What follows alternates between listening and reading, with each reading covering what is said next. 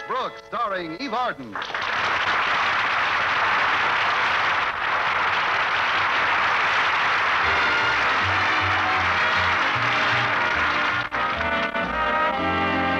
Well, when a woman like our Miss Brooks, who teaches English at Madison High School, goes with a man like Philip Boynton for six years, certain changes are bound to occur.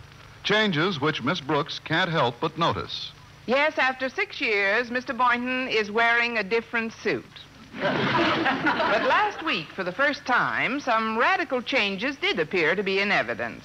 All else having failed, I had decided to take my landlady's advice and try to build up Mr. Boynton's ego. So about two weeks ago, I convinced Mr. Boynton that he'd look much more distinguished if he'd grow a mustache. Last Thursday at breakfast, I discussed the early results with Mrs. Davis. I knew that altering his appearance would make a difference in Mr. Boynton. What's the first change you've noticed, Connie? It's much quieter when he drinks his soup. Oh, there's much more to it than that. I saw his mustache when he called for your Sunday night, and it certainly tickled me. Well, I wish it would tickle me.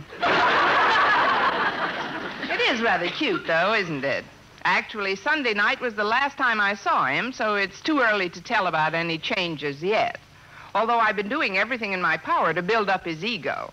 Just what have you done, dear? Well, I asked three of Madison's most attractive teachers, Miss Adams, Miss Higgins, and Miss Preston, to compliment him on his new look. Well, that should have produced results. It did. He went out with Miss Adams Monday night, Miss Higgins Tuesday, and Miss Preston Wednesday. Well, with his new appearance, you've got to expect personality changes in Mr. Boynton. I'm sure he'll be much more positive toward you from now on. Oh, he's positive, all right. He positively hasn't asked me to go with him to the party Mr. Conklin's giving tonight. Party? It's in honor of Mr. Stone's re-election as head of the Board of Education. The entire faculty's been invited. Should be quite a gala affair. Yes, the milk will flow like buttermilk. Well, I'm sure Mr. Boynton will ask you. What are you going to wear, Connie? Well, I don't know yet, Mrs. Davis, but you can bet it won't be what I was wearing about this time last year. Well, what were you wearing then? Don't you remember, Madison's home economics class had just honored me with their annual secret project. Oh, of course. That blue dress they'd made with those vents in the back. They just made the dress. I made the vents when I bent over. Whatever became of that dress, dear? Well, for a while, Walter Denton used it as a seat cover for his car. But I'll never forget when I first got it. I had to wear it around school for a week so I wouldn't hurt anyone's feelings. I only hope they don't honor me again this year. The presentation is due any day now. Really? How do you know? Well, Harriet Conklin's been hinting about it for days. She's in charge of the project this term. Well, I'm sure she wouldn't give it to you two years in a row. Well, maybe not, but. Oh, that's Walter to drive me to school. Be out in a minute, Walter. Well, I guess I'd better be going, Mrs. Davis. Very well, dear. Have a nice day. Oh, when you make my bed today, just leave the covers turned down, will you? The covers. Yes, if I get that presentation again, I'm liable to come down with a severe case of German measles.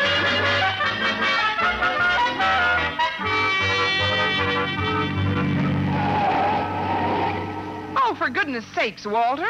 If you're going to make a turn like that, at least give the person behind you a hand signal. If for you, adored teacher, I'll send out a flare. but I thought you'd noticed something besides my driving today. What's that, Walter? Well, aren't you aware of anything different this morning? Uh, look carefully. Oh, of course. The pedestrians have been removed from your fenders. It, it concerns my personal appearance, Miss Brooks. You see anything over my upper lip? Yes, you forgot to wipe the egg off your lip. Please, that's a mustache, Miss Brooks. Harriet noticed it immediately. But of course, I usually give her a much closer view. yeah, I got the idea from Mr. Boynton. Gosh, the way that man's mustache has changed his personality. Then you've noticed it. No, who hasn't? It's amazing what a difference some hair over a man's upper lip will make. Why, in the last few days, he's even winked at some of the female teachers. That's just a nervous twitch, Walter. It's nothing. And that isn't all. A couple of times I caught him holding a hand mirror up to his face. Maybe he was trying to find out if he's alive. Apparently, he is beginning to change, but you can't prove it by me. I've hardly seen him in the last three days. You know, just wait till you do. You'll be able to tell right away. It's practically all Harriet talked about last night. Harriet, she didn't happen to mention the home economics class secret project, did she? I mean, did she say who was going to be the lucky winner of this year's seat cover address? Well, no, but she did say they were going to make the presentation today, so whoever it was could wear it to Mr. Conklin's party tonight. Turn the car around, Walter. I feel an attack of the measles coming on. Joe, I'm pretty sure it won't be you this year, Miss Brooks. They've never made the presentation to the same teacher two years in a row. Well, you can never tell when they're liable to start a nasty precedent. But I guess it. Say, this isn't the way to school, Walter. Yeah, I know. Miss Enright called before I left home and asked me if I'd pick her up on the way to school, too. Miss Enright? Did she know I'd be along? Oh, sure. Yeah, she said that would make the trip even more enjoyable. Miss Enright said that?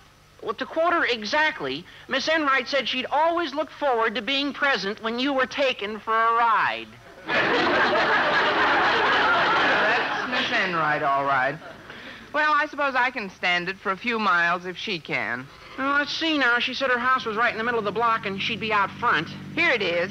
Uh, just pull up in front of that stunted tree, Walter. That's Miss Enright. Oh, yes. You have wonderful vision, Walter. Well, good morning, Walter. Good morning, Miss Brooks. It was. My, but you two make a pretty picture in the front seat. We do? Yes. I'd call it mother and son in jalopy. Well, hop in and we'll have three generations, Grandma.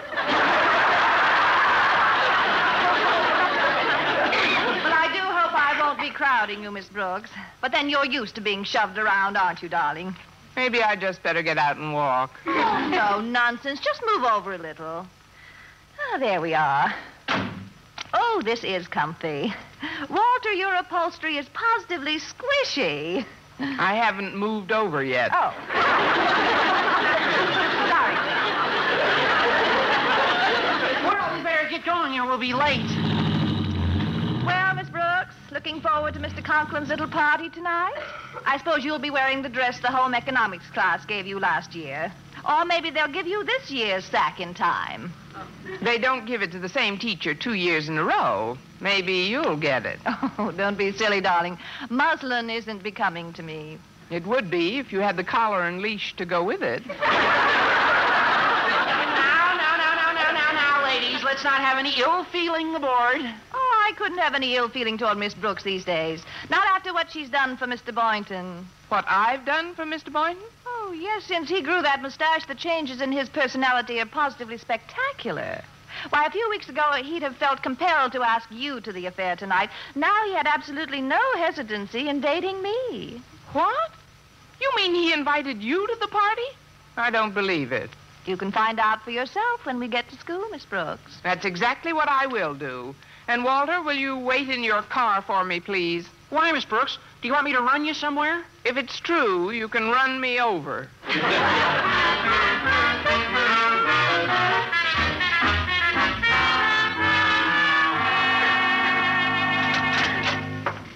Oh, Mr. Boynton. Mr. Boynton, where are you? Oh, right over here, Miss Brooks, in front of this mirror. Oh, I wanted to talk to you before class began, and.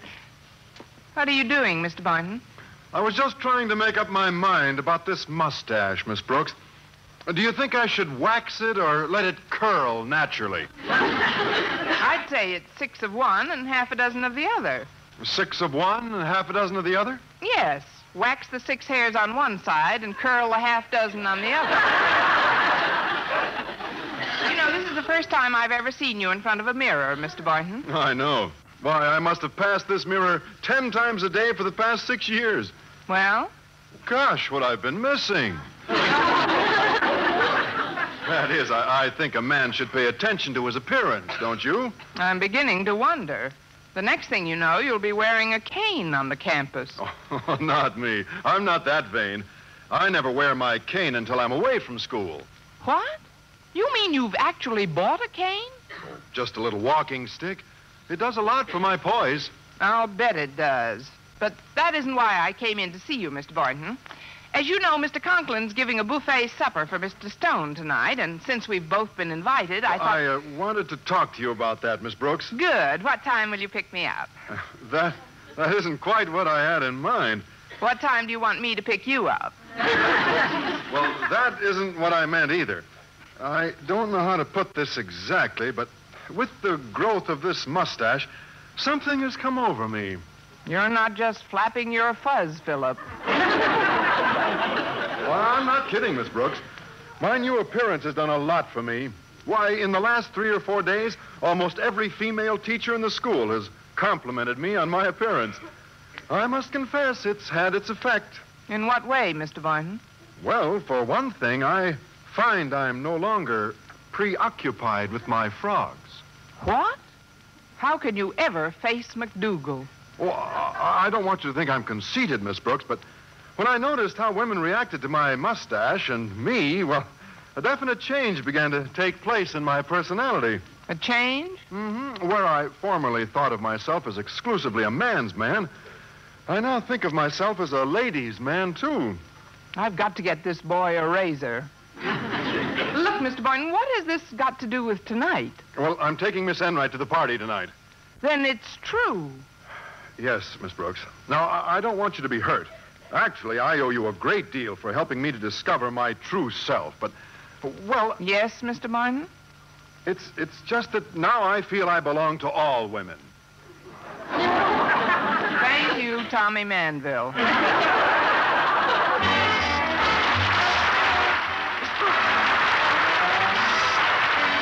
Behind this door. Oh, for a minute I thought the radiator was leaking hot air. It's me, Mr. Conklin. I wasn't far wrong. Uh, what are you doing behind the door, Mr. Conklin? Step into my office, Miss Brooks, and I'll tell you. All right. Well, aren't you coming out? I don't dare. I've just learned that I'm one of the recipients of this year's clothing award from the home economics class. I'm wearing the thing now. Well, don't be bashful, sir. I'm sure you look ravishing in the new muslin dress. It's not a dress, Miss Brooks. The class made me a suit of clothes.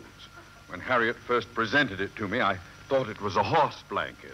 However, on closer inspection, I discovered it was a suit made from a horse blanket. Oh, it can't be that bad, sir. Come on out and let me see it. I don't know whether I should risk it. You, you promise you won't laugh? Yes, sir, I promise. All right. Here I am. Well, I didn't laugh. Now you can appreciate what I'm up against. This consists of nothing but odds and ends.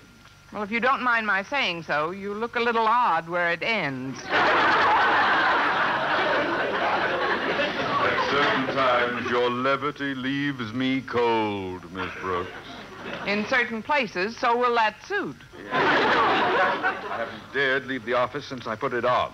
Now, don't misunderstand. I'm deeply honored that Harriet's class thought enough of me to give me this award. Oh, of course. It shows that the undergraduates involved hold me in the highest esteem. Yes, indeed. And there's truly nothing in the world I treasure more than this gift. Nothing in the world. But, Miss Brooks, since this was the class's secret project, You wish they'd have kept it a secret. the truth of the matter is, when Harriet and her classmates made the presentation this morning, they insisted that I not only wear this suit when Mr. Stone arrives this afternoon, but tonight at the party as well. They said they'd be deeply hurt if I didn't. Miss Brooks, I'll be the laughing stock of the school unless you help me out of this predicament. But how can I help, sir? Well, for years now, it's been an unwritten rule that the teacher who received the award the previous year has the final say as to who gets it the following year. Although this rule has seldom been invoked, this year we're going to invoke it, aren't we? Are we? For some time now, you've been arguing to get Mr. Boynton a new lab next to your classroom. Right, Miss Brooks? We've just put that unwritten rule in writing.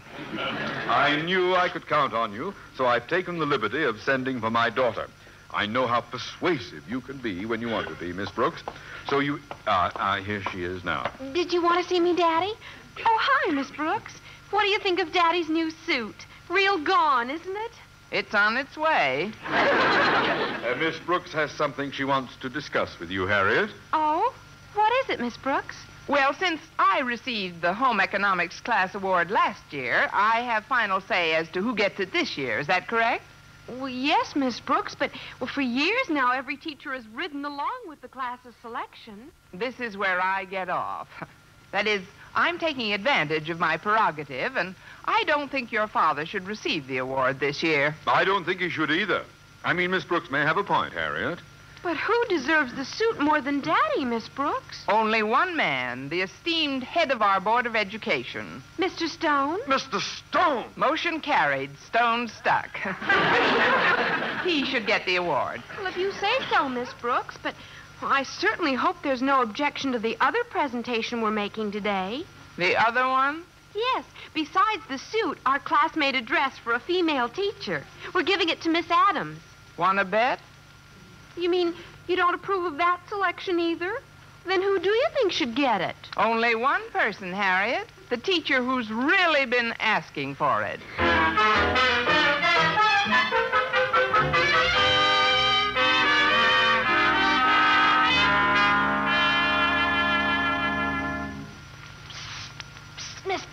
Huh? I'm over here behind the door of the faculty room. Oh, for a minute I thought it was a cobra. It's me, Miss Enright. I wasn't far from wrong. What are you doing behind the door, Miss Enright? You know perfectly well what I'm doing behind this door. Because of you, I've been compelled to wear the dress the home economics class made for Miss Adams. Now I daren't show my face in public. Well, you can't blame that on the dress. Now, never mind the tracks. The winner of this loathsome award has to wear this thing to the party tonight. Now, you got me into this dress, Miss Brooks. You get me out of it. Oh, then you definitely won't be able to show your face in public. You know what I mean. This atrocity looks like a potato sack on me. There, look, see? It would look better with potatoes in it. but if you're so set against wearing it tonight, perhaps we can make a deal. What sort of deal, Miss Brooks? Well, since I have the final say, I could tell Harriet to give it to someone else, but only under certain conditions. What are they?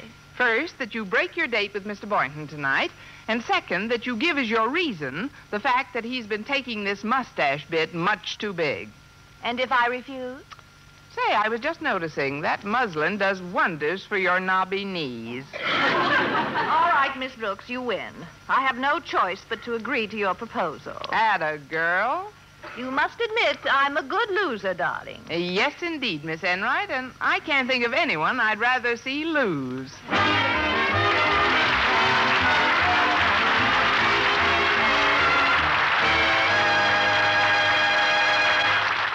At three that afternoon, my principal and I were in his office awaiting the prospective recipient of the two garments. Well, Mr. Stone ought to be here any minute now. Do you want to make the presentation, or shall I, Miss Brooks? Well, as the previous year's recipient, I think I should present the suit to him, Mr. Conklin. And if you don't mind, sir, I'll also give him this other award. You, you mean this piece of burlap? The only thing that's good for is to hold a bunch of potatoes. That's no way to talk about Mrs. Stone. Mrs. Stone? This is the dress made by our home economics class. The Stones should make quite a handsome couple in these outfits. Oh, yes, indeed. They'll be almost as well dressed as Mammy and Pappy Yokum. However, as long as you've made. Oh, there he is now. Come in. Well, good afternoon, sir. Good afternoon, Osgood. Hello, Miss Brooks. Hello, Pappy. Uh, Mr. Stone. Uh, before we get down to school business, Mr. Stone, Miss Brooks has a little presentation for you from our home economics class. A presentation? Why, Miss Brooks, I'm touched. Wait till you see it. You'll go out of your mind altogether. Mr. Stone, to show our deep appreciation for the work you've done in behalf of Madison High School throughout the year, the home economics class has made this gift especially for you. Here you are, sir. Why, uh, why, it's uh, beautiful. Do you really think so? Yes, indeed. The next time I go riding, I'll put it under my saddle. Oh, no, sir. It's a man's suit. The class expects you to wear it to Mr. Conklin's party tonight. Uh, this is a man's suit? You can tell by the buttons. See? There are very few double breasted horse blankets. Oh, yes, I see it now. It's, uh, uh, lovely. And besides this suit, sir, our home economics class wants you to have this additional gift. Oh, thank you, Miss Brooks. Uh, that'll come in very handy. It should hold several pounds of potatoes. It's a dress for Mrs. Stone. I see. You're giving this suit to me and this dress to my wife. We also supply a door to hide behind. that is, you'll get a lot of good wear out of them, I'm sure. Yes. Well, Osgood, I don't know how to thank you for your part in this. Oh, uh, Miss Brooks deserves all the thanks. As recipient of last year's gift, she had the final say. It was her idea. Uh, your idea, Miss Brooks? Has my transfer to Siberia come through yet? if you're going to wear this suit to the party tonight, why not try it on now, sir? I have a tie in my inner office that will go perfectly with it. I'll dash right in and get it. Won't be a minute. Uh, Miss Brooks, I don't want you to mistake what I'm going to say for a moment. I, I'm deeply honored that the home economics class thought enough of me to give me this award. Of course. It shows that the undergraduates involved hold me in the highest esteem. Yes, indeed. But, if, this was a secret project, why, didn't they keep it a secret? Uh, well, don't get me wrong, Miss Brooks. I just feel that this award should be given to someone more directly concerned with Madison's daily life. Uh, uh, Mr. Conklin, for instance. Mr. Conklin? Yes, I feel that you should reconsider to whom this gift should go, just as I am about to reconsider the appointment of a new head of Madison's English department. Uh, do you follow me, Miss Brooks? Do you want to make the presentation, or shall I? I think that since you. Uh, well, here it is, Mr. Stone. Isn't it a beauty? This tie goes with that suit like ham goes with eggs. Pardon me, sir, but the knife and fork just changed hands. what Miss Brooks means, Osgood, is that I cannot accept this signal honor. You can? Mr. Conklin, Mr. Stone and I feel that because of your devoted attention to the needs of both teachers and faculty at Madison High throughout the years, this suit from the home economics class should go to you. Well, there's nothing I've wanted more. Mr. Stone, Miss Brooks, I don't know how to thank you. As I look at this splendid garment, I realize that there's nothing I've wanted more! Miss Brooks, what's going on here? Mr. Stone persuaded me you should have it, sir. But I thought we decided Mr. Stone should have it. Remember? When we were discussing Mr. Boynton's new lab being moved right next to your classroom? Now, tut tut, Osgood. The decision should come from the new head of Madison's English department. Head of the English department? Miss Brooks? But we'd be trading our integrity for a mess of pottage. A double breasted mess of pottage. Look, gentlemen, I don't want to blackmail anyone into a promotion. Perhaps neither of you deserves this award. That's my girl. But then who should be the recipient? It does present a problem, doesn't it? Come in. Hello, everyone. I. Uh... Mr. Boynton, welcome home. Oh, no, you can't do. Huh? Uh, will you make the presentation, or shall I, Mr. Stone? Go right ahead, Osgood. have the final say. I Get lost. Mr. Boynton, in honor of the service you have done for Madison throughout the years, because of your devotion to duty and your unflagging zeal in your work, we want you to have this award. From the picture Abbott and Costello meet the Board of Education. I don't quite understand, but well, thank you very much for the suit. I certainly didn't expect anything like this when I came in here. Why did you come in, Mr. Boynton? Well, Harriet told me you were in here, Miss Brooks. And since Miss Enright can't make it, I wanted to invite you to Mr. Conklin's party tonight. I accept. And that automatically eliminates you as the recipient of the honorable horse blanket. But, gentlemen, I think I have a solution that should be acceptable to all concerned. What is it, Miss Brooks? Hand it over, please. Thanks. For you, Mr. Stone. For you, Mr. Conklin. For you, Mr. Boynton and may the pants rest in peace.